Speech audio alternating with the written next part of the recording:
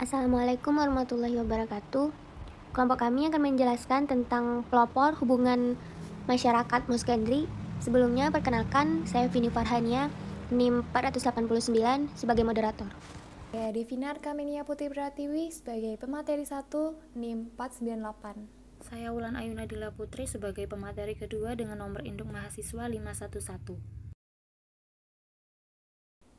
Mos Kendrick merupakan salah satu tokoh pelopor hubungan masyarakat. Perjalanan karir Mos Kendrick Tahun 1939, Mos Kendrick membuat Pekan Koran Negro Nasional setelah kelulusannya. Ini memudahkannya karena Kendrick adalah seorang mahasiswa populer, berpengalaman sebagai editor surat kabar dan anggota persaudaraan Al-Papi. Kendrick juga salah satu pendiri dari Pi Delta Journalist Society, masyarakat pertama dan satu-satunya untuk mahasiswa jurnalisme Afrika Amerika. Tahun 1941, Kendrick bertugas di Angkatan Darat Amerika Serikat. Selama periode itu, dia bekerja untuk Departemen Keuangan di Kantor Keuangan Perang dan melakukan perjalanan ke seluruh negeri dengan selebriti Afrika Amerika untuk mempromosikan obligasi perang dan sering muncul di acara radio untuk jaringan CBS. Tahun 1944, Mos Kendrick menjadi Direktur Hubungan Masyarakat untuk perayaan Centennial Republik Liberia. Dan karyanya yang sukses untuk acara ini diyakini telah menjadi inspirasi untuk karir masa depannya di bidang hubungan masyarakat. Pada tahun yang sama, Moss Kendrick mendirikan firma hubungan masyarakatnya sendiri, The Moss Kendrick Organization, berbasis di Washington, DC. Organisasi tersebut bertanggung jawab atas akun utama yang menargetkan konsumen Afrika Amerika.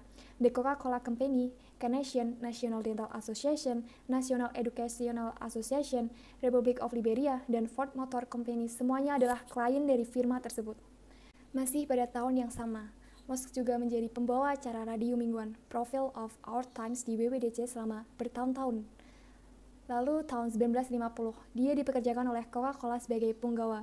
Dengan mengambil tindakan berani ini, Musk Kendrick menjadi orang Afrika Amerika pertama yang memperoleh akun perusahaan besar, menjadi bagian integral dari upaya promosi produk, dan memiliki kesempatan untuk bekerja dengan selebriti dari industri olahraga dan hiburan. Tahun 1953, meluncurkan National Association of Market Developers atau NAMD di Tennessee State University oleh Moss Kendrick. Asosiasi tersebut dipandang sebagai kelompok pendukung minoritas di bidang hubungan masyarakat. Asosiasi tersebut dikembangkan lagi di tahun 1954 di District of Columbia oleh Kendrick, Wendell P. Alston, perusahaan minyak standar ESO, Profesor Pemasaran Universitas Howard, rekan dari organisasi Moss Kendrick, perusahaan telepon dan telegraf Amerika, dan beberapa tokoh lainnya. Asosiasi ini berhasil membangun relasi baik dengan presiden pada masa itu dan masih beroperasi sampai sekarang. Selanjutnya, tahun 1970, Moss Kendrick berhenti beroperasi secara bertahap, berhenti dari perusahaan Coca-Cola dan disusul hal-hal lain. The Coca-Cola Years dalam komunitas Afrika Amerika di selatan tahun 1920-an dan 1930-an, minuman rasa anggur dan jeruk nehi lebih disukai karena nehi mengakui nilai pasar minoritas, sedangkan perusahaan Coca-Cola tidak. Hal ini dikarenakan Coca-Cola tidak mengakui nilai pasar minoritas. Produk nehi tersedia dengan baik di pasar Afrika Amerika yang lebih kecil, sedangkan perusahaan Coca-Cola tidak menyediakan dengan baik bagi pasar kecil. Moss Kendrick mengenali celah ini dan memutuskan untuk bertindak berdasarkan pengetahuan tersebut. Pada awal 1950-an, dia pergi ke kantor perusahaan Coca-Cola. Dia membuat promosi dan menyampaikan sebuah usul tentang cara memasarkan ke komunitas Afrika Amerika. Mos Kendrick meyakini bahwa daya beli orang negro lebih kuat daripada non-negro. Materi kali ini adalah langkah-langkah yang diambil oleh Mos Kendrick. Yang pertama, memberikan proposal kepada perusahaan Coca-Cola yang dikenal dengan proposal Coca-Cola, yang awalnya menargetkan hanya kepada pemuda negro, namun kegiatannya akan melibatkan seluruh orang negro. Bersihkan tentang satu advertising atau periklanan. Mempromosikan kampanye periklanan apa pun yang termasuk dalam proyek ini di semua media. Pers, surat kabar, dan majalah negro akan dijadikan sebagai media utama, sedangkan plakat, poster, dan jenis alat periklanan lainnya digunakan sesuai kondisi yang mungkin diperlukan. Yang kedua ada public relation atau hubungan masyarakat bersifat mengarahkan perhatian ke proyek dan memastikan hasil terbaik dalam usaha tersebut.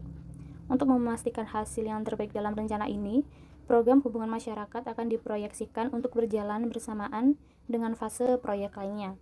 Yang ketiga ada sales promotion atau promosi penjualan. Penjualan Coca-Cola akan menjadi dasar partisipasi dalam program The Jackie Robinson Cook Clubs dan Good Citizens Corp Ketentuan yang mencakup partisipasi ini akan melibatkan metode pemasaran. Oleh karena itu harus direncanakan dengan baik oleh perusahaan Coca-Cola tersebut. Langkah selanjutnya adalah menjalankan rencana. Rencana yang diambil oleh Moss Kendricks memanfaatkan popularitas atlet Jackie Robinson. Proyek ini dirancang untuk memberikan dorongan pada program Jaksa Agung untuk mencegah dan mengendalikan kenakalan remaja dan dapat dipromosikan bekerja sama dengan panitia yang telah dibentuk dengan persetujuan Presiden untuk menangani program pemuda Departemen Kehakiman ini. Yang pertama dikenal dengan The Jackie Robinson Bad Boy dan Girl Good Citizen Corps. Di sini Coca-Cola akan mendapat untung melalui penciptaan pasar saat ini dan masa depan. Untuk hasil terbaik, proyek ini harus diluncurkan di musim panas dan dapat diperpanjang untuk jangka waktu yang tidak terbatas.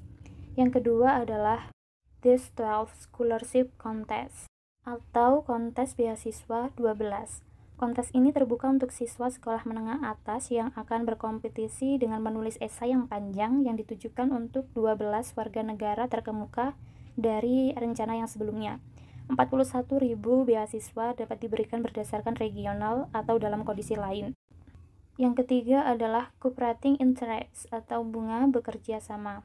Organisasi kemasyarakatan, sosial, persaudaraan, dan profesional akan diminta untuk membantu mempromosikan proyek ini yang akan memiliki tujuan utamanya untuk meneruskan kewarganegaraan yang baik di antara anak laki-laki dan perempuan negro. Mungkin bijaksana jika tidak ada promosi penjualan langsung yang dilampirkan pada rencana ini, tetapi ditangani secara lokal oleh pembotolan secara independen dan proyek nasional. Dari proposal dan rencana yang telah dijalankan dengan baik, Mas Kendricks dan perusahaan Coca-Cola mendapatkan beberapa keuntungan, yakni memberikan kontribusi yang signifikan bagi kesejahteraan umum bangsa. Yang kedua, perusahaan Coca-Cola dan pembotolannya akan tak terukur. Yang ketiga, peningkatan penjualan Coke atau produk dari perusahaan Coca-Cola. Yang keempat, mencakup jenis hubungan masyarakat yang melibatkan banyak pemuda, di mana pemuda cenderung akan mengembangkan pasar di masa depan.